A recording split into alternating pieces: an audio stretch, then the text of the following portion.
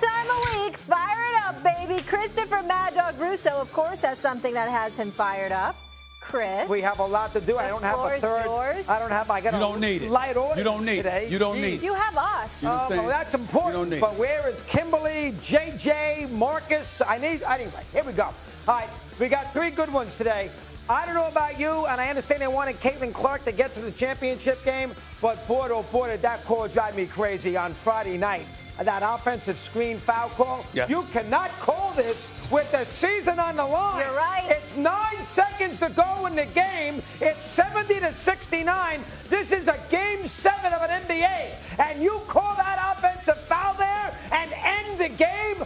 Oh my God. I understand I live in Connecticut and I had to hear all the Connecticut fans moan and groan. Molly not happy about it either. I understand that maybe a little biased, but that call cannot be made. I was trying to rack my brain. Yeah. I can't remember ever, and I've been watching the NBA Finals since 1968.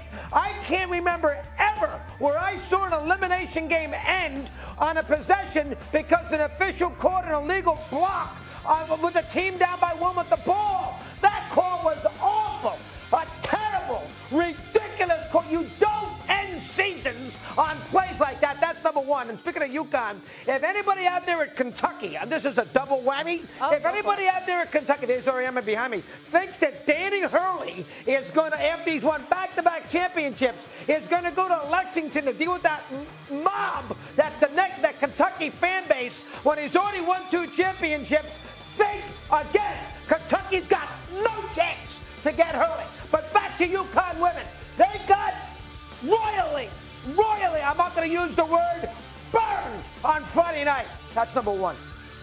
Let's just hug it out. Let's hug it. Oh, whoa, you're the best. You're You the Part, best. part two, part two about him not going to Kentucky. You're absolutely right. Danny Hurley. He doesn't wanna he'd go to full- No, please stay right in Fuck Storrs. That's number one. That's number one. Kentucky isn't what they used to be. That's number one. Number two, and most importantly, you're right in terms of I was disgusted with Only indicates, go ask the Japanese media, that he took pictures with the fan. lying about something this innocuous. That's an investigation in the betting on baseball. That's what we're talking about. Well, That's what we were talking about weeks ago. In other words, of course, they were saying Yeah, it had nothing to do with baseball, doesn't but it was a be- question because people weren't necessarily believing it. So just weeks removed, just so just yeah. weeks removed from that, to lie about something this innocuous. Yeah. If you're willing to lie about that, how honest and what level of veracity do you eh, do you do you entertain 100%. on something so far more just a- serious? and The the I'm just I said wondering. one last thing what he could have done. Say he really wanted it. His first home run as a Dodger. Right, a hundred thousand dollar check. But that's what I'm saying. You keep it and then you do something for the couple. You do some type of gesture, whatever it is, Something. monetary, give them, you know, front row seats, Something. Oh, whatever. don't be that crazy. kind of, yeah. And give Plaschke the LA Times credit. well, he's one of the best Yeah. columnists in America. Give him credit because he's the one who made this, The- and then the Athletic jumped the on it. So both of them. the Give credit. voice, the voice of LA, him and Jim Hill. Yep. Good job. That was number. That really bothered me. That's a rotten thing to do to some poor couple there with the sweat. That really. Separating them? I mean, would've am I been right right? So you guys agree? That's right. All right, that's number Totally, All right, totally. let's have some fun now with number three. Okay. Okay. I hoped it rained like the Dickens a couple days ago on Monday. The last thing I wanted to get wrapped up in is that stupid sky with that dopey moon and that dopey sun. I got the dopey glasses, you know. I put the glasses on and looked up. What a what a disaster! And how about the poor fan? Think about this for a second. We had Americans. Today's me. And oh, look at you! What a joke that is! We had Americans who traveled around the country, Buffalo, Cleveland, and spent $1,200 when hotels are gouging them for rooms to see the moon over the sun for a couple of minutes. You gotta have something more important to do to that. You have go outside, get the glasses, look at it for 10 seconds, and come back inside. Isn't The that don't-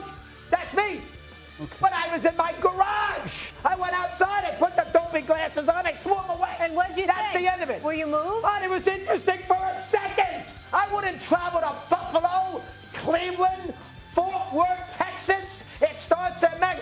Who cares? They move back baseball games to accommodate this. How dare they move back opening day? They move back the Guardians game to show the stupid sun and the moon. Nobody in America. Well, first of all, you got to have those glasses on to protect your eyes, so it's perfectly understandable why they would delay some baseball games because you don't want to look up to the sky because it'd be damaging. That's number one. This looks number like a model number pose two, right num- now. Number two, this a cover number two, number two. I was outside of my studio. Oh. All right, and I went outside of my studio to look at. GQ magazine? No, it wasn't, but that's what I was wearing the day I did my show, which was Monday. Mm-hmm. So I'm looking at this, and my my daughters insisted that I watch. So Daddy went out there to watch because my daughters told me to, and it was a nice But experience. how about the people who actually spent the fortune to travel 300 miles Yes, they've to watch They- something they're, like this? They're addicted to nature. But it's stupid. Oh, it's stupid. Come on. Don't They're do addicted that. to nature. Put, donate the money to a charity. What money? Here you. The, Well, I mean, uh, $1,200 to stay in a hotel to see the moon over the sun for 20 minutes? Let's Clearly they- not that important. clearly they could you afford like it. to eat gummies and bat with Fat Rob on your couch. People might think that's stupid. Some people want to look at celestial things. And by the Let way, and by the way, they spent their money on what they wanted to spend Yeah. it on. You spent your money to lose it. yeah. When yeah. you're gambling all yeah, the time. that is ridiculous. Which is more ridiculous. I did well this weekend. well, hopefully you better bet on ESPN. I thought Bet. those are, those are, those are three High good five, ones I gave This is your best in a long time. Three good ones. Really brought